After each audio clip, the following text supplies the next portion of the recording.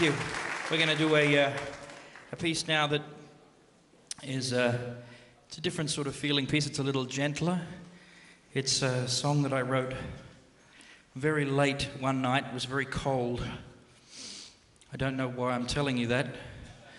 I'm sure you can't hear the temperature in the piece, but um, I was uh, sitting outside looking at the fog on the water, and I had this song come into my head, and I wrote it down. It was how I felt, so I thought I'd call it Self Portrait. The misleading thing about that is that when you write a self portrait or paint a self portrait, it should be what you're like, right?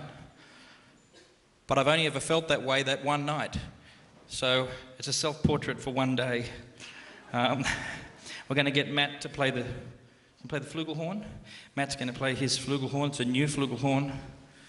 It's very nice. It's Swiss, beautiful. I thought if he's going to play his new, it is, it's a Swiss flugelhorn. I thought if he's going to play his new Swiss, it looks old, but they make them like that. Seriously. I don't know why. You didn't pay much for it, did you? no, it's, it's a really beautiful flugelhorn, and I thought if he's going to play his new flugelhorn, I should perhaps not play the trumpet. It's a bit loud.